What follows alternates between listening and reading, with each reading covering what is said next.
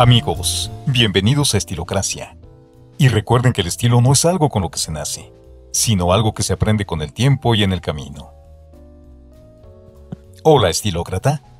Sabemos que todos queremos proteger nuestro dinero en un lugar seguro, pero guardar tus ahorros debajo del colchón o en un agujero en el jardín no es la mejor opción.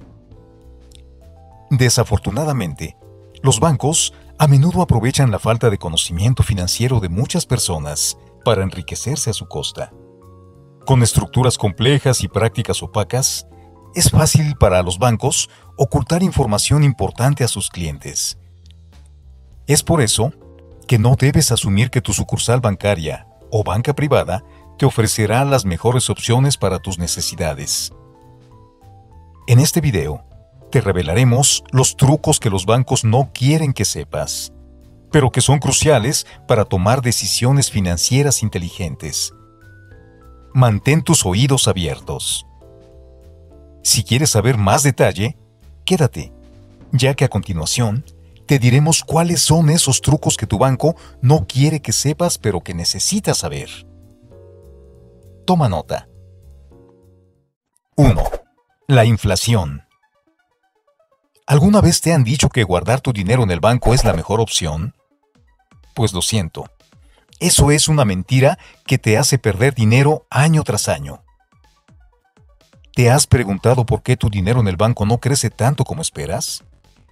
La respuesta está en la inflación, el ladrón silencioso que te roba el poder adquisitivo de tu dinero. No te engañes, la inflación no es solo un número abstracto, es un fenómeno que afecta a tu vida financiera de manera significativa. Si no haces nada al respecto, tu dinero perderá valor con el tiempo. ¿Quieres saber cuánto estás perdiendo por dejar tu dinero en el banco? Aquí está la respuesta. Por cada año que pasa, tu dinero puede perder hasta un 1.5% de su valor real. ¿Te parece poco?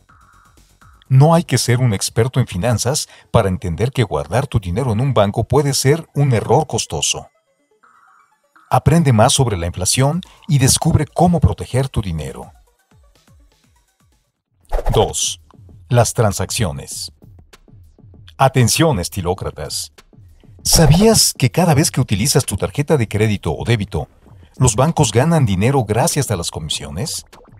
Aunque puede que no lo notes, estás pagando por ellas a través de un aumento en el precio de los productos que compras. Y lo que es peor, los bancos pueden aumentar los tipos de interés de tu tarjeta sin que te des cuenta, lo que puede resultar en costosas sorpresas. No te dejes engañar y mantente alerta. 3. La cuenta de ahorro no sirve. Querido estilócrata, ¿alguna vez te has preguntado si tu cuenta de ahorro realmente te está ayudando a ahorrar? Es posible que pienses que tienes tus finanzas bajo control, pero la verdad es que muchas cuentas de ahorro normales ofrecen una tasa de interés muy baja, generalmente solo el 0.1% efectivo anual. Mientras tanto, los bancos utilizan tu dinero para obtener ganancias mucho mayores, prestando el dinero a tasas de interés que pueden llegar hasta el 25% efectivo anual. ¿No te parece injusto?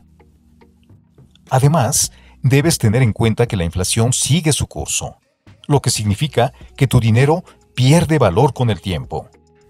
Si tus ahorros están en una cuenta que solo ofrece una tasa de interés mínima, es muy probable que estés perdiendo dinero en lugar de ahorrar.